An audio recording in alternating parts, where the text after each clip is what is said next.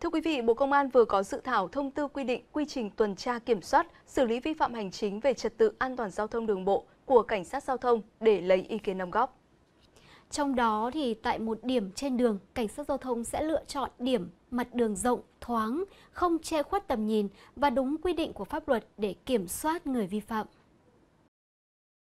Một trong những nội dung đáng chú ý của dự thảo là các quy định về quy trình tuần tra kiểm soát công khai kết hợp với hóa trang và xử lý vi phạm của lực lượng cảnh sát giao thông. Theo đó, cảnh sát giao thông được trực tiếp quan sát hoặc thông qua sử dụng phương tiện, thiết bị kỹ thuật nghiệp vụ để giám sát, phòng ngừa, phát hiện, ngăn chặn kịp thời, xử lý hành vi vi phạm hành chính về giao thông và vi phạm pháp luật khác. Khi kiểm soát tại một điểm trên đường, cảnh giao thông lựa chọn địa điểm mặt đường rộng, thoáng, không che khuất tầm nhìn và đúng quy định của pháp luật. Còn khi tuần tra, cảnh giao thông sử dụng phương tiện camera để ghi hình quá trình kiểm soát. Nếu kiểm soát vào buổi tối, ban đêm phải có đèn chiếu sáng đủ ánh sáng. Bên cạnh đó, tổ cảnh giao thông được bố trí một bộ phận cán bộ hóa trang mặc thường phục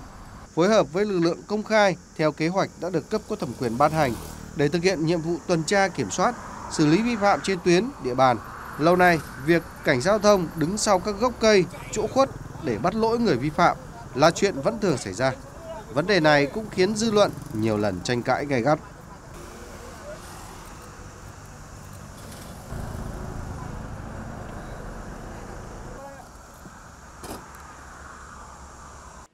Theo luật kinh doanh bất động sản 2023 có hiệu lực vào ngày 1 tháng 8 tới, tiền đặt cọc sẽ không quá 5% giá nhà ở hình thành trong tương lai. Điều này sẽ giúp hạn chế tình trạng thu tiền cọc quá lớn, hạn chế rủi ro cho người mua.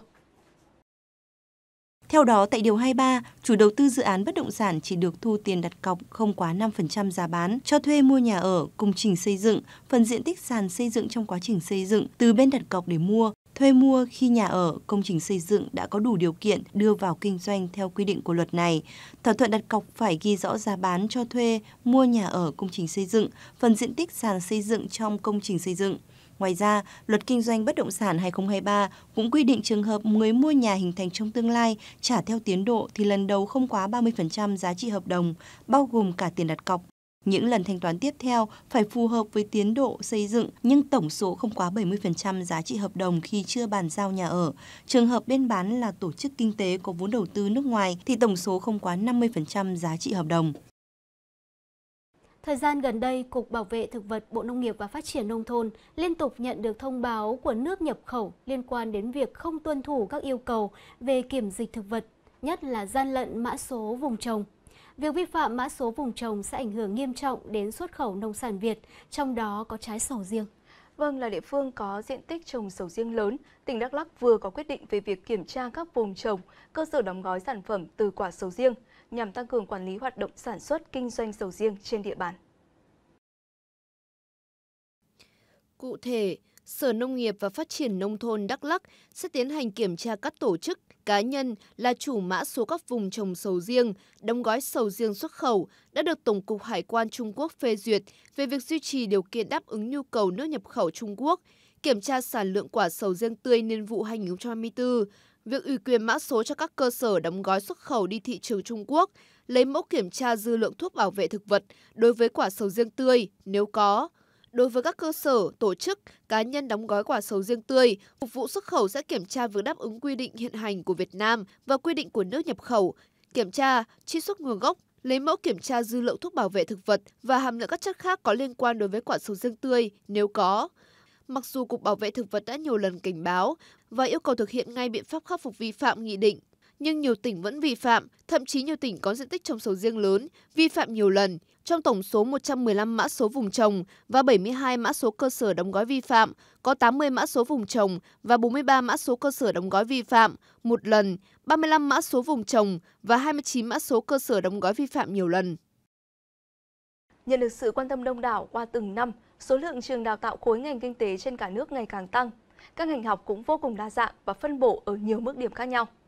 Vâng, à, trong năm 2024, các trường đại học khối ngành kinh tế dự báo mức điểm chuẩn năm nay sẽ tăng nhẹ so với năm trước do phổ điểm các khối A00, A01, D01 và D07 đều tăng.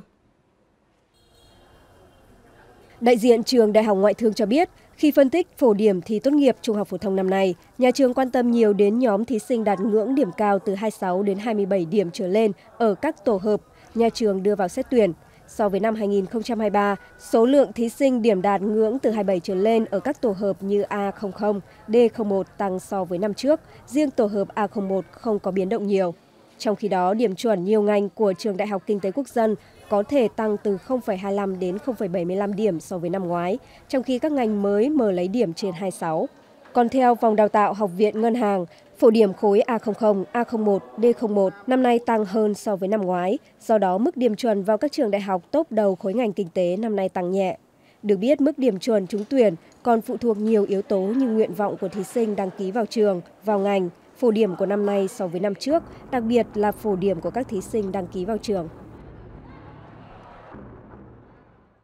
Thưa quý vị, không may mắn như những người bình thường khác, những người khuyết tật bị khiếm khuyết hoặc suy giảm chức năng một hay nhiều bộ phận cơ thể, khiến cho việc lao động, sinh hoạt, học tập gặp khó khăn.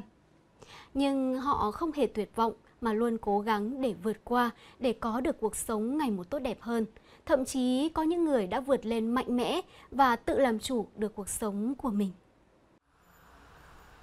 Căn nhà cấp 4 ở số 56 thôn Niên Phú, xã Liên Ninh, huyện Thanh Trì, Hà Nội, chỉ rộng vài chục mét vuông, là nơi mà chị Nguyễn Thị Thanh Hiên, một người bị khuyết tật vận động, hàng ngày vẫn cặm cụi, tất bật với những đơn hàng may vá quần áo. Chỉ riêng việc có được cho mình một xưởng may riêng cũng là kết quả của bao năm nỗ lực không ngừng nghỉ của chị Hiên. Thì mới đầu cái khuyết tật của tôi là cái bàn chân là nó lật nghiêng này thì đi lại nó khó khăn hơn. À, sau sau khi mà học xong cấp 3 à, năm 1991 thì tôi ở nhà và mở may đi học thêm cắt để về tự cắt cho nó chuẩn theo à, cái công thức mới để, để kịp cái à, thời trang mới lúc bấy giờ. Khi là người khuyết tật thì tôi thấy à, phải cố gắng vươn lên làm thế nào để làm tất cả các công việc của một người bình thường để cho gia đình khỏi gánh nặng và xã hội cũng bớt đi cái gánh nặng nên là tôi đã cố gắng quyết tâm làm tất cả các công việc của người bình thường. Ngay từ nhỏ, chị đã bị tật ở chân nên mỗi khi đi lại hoặc trái gió trở rời, việc di chuyển cực kỳ khó khăn. Có được một xưởng may riêng đối với chị là một sự an ủi vô cùng to lớn. Tiệm may dù nhỏ gọn nhưng mọi chi tiết sắp xếp, lựa chọn loại chỉ đến việc cập nhật các loại vải mới, mẫu trang phục đang được khách hàng yêu thích đều phải thật cẩn thận và chỉn chu. Bởi theo người phụ nữ này, luôn phải tạo cho khách hàng thích sản phẩm của mình ngay từ lần đầu tiên thì khách mới có thể đặt may tiếp lần sau. Khách hàng của tôi thì luôn luôn là khó tính, à, từ đường kim mũi chỉ và họ cũng không thích là có người khác là máy chung vào một cái à, sản phẩm của họ nên là cứ phải là tôi mấy cái sản phẩm đấy họ mới mới ưng. Vì tôi là vốn dĩ là con người rất cẩn thận ừ, tỉ mỉ từng chi tiết một trong một cái sản phẩm. Thế nên là khách hàng ừ, luôn luôn tin tưởng và đến với tôi tôi may tất cả các loại trang phục từ đơn giản đến phức tạp, từ à, com lê, áo dài, vest, áo bà ba. Nói chung là không một cái thể loại gì là tôi không làm được. Và nhiều lúc là tôi tự thiết kế riêng các mẫu Ừ, để may cho khách và cắt theo catero mà khách mang tới ạ.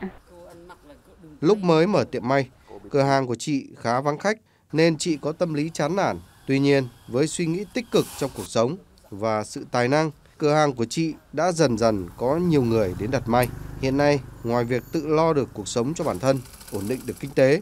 Người phụ nữ này còn dạy nghề may cho nhiều chị em phụ nữ khuyết tật trong Hội Phụ nữ khuyết tật huyện Thanh Trì cùng hoàn cảnh, bởi đây cũng là công việc phù hợp với thể trạng của những người kém may mắn này. Chính chính vì nhìn thấy các cái hoàn cảnh đó nên là cái tâm nguyện của tôi là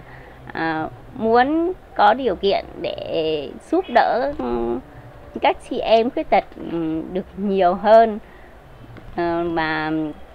à, giúp chị em à, vươn lên tự tin vươn lên hòa nhập cộng đồng tham gia mọi cái công tác à, xã hội ừ, như một người bình thường khác. Thấy à, Hội Phụ nữ Khuyết tật huyện Thanh Trì à, dạy may à, miễn phí mà lòng đam mê nghề may và cũng xin vào hội và sang học à, may à, của tôi ạ. Các chị em có ra đây học may và cũng có có chụp ảnh lại các chị em. Dù tiệm may không rộng nhưng bên trong luôn chứa đựng nhiều tình cảm, tâm huyết của người phụ nữ này. Hàng ngày, đủ các loại quần áo từ đơn giản bình thường đến các loại váy vóc thời trang đều được khách hàng tin tưởng đặt may. Nhiều chị em khuyết tật cũng học được thêm ngành nghề để lo cho cuộc sống của mình. Có thể thấy, không phải ai sinh ra cũng có được sự may mắn, đặc biệt với những người khuyết tật, mỗi người mang trong mình một căn bệnh khác nhau. Họ gặp muôn vàn khó khăn, nhưng bằng sự nỗ lực, mỗi người đều có thể đạt được ước mơ và hạnh phúc trong cuộc sống.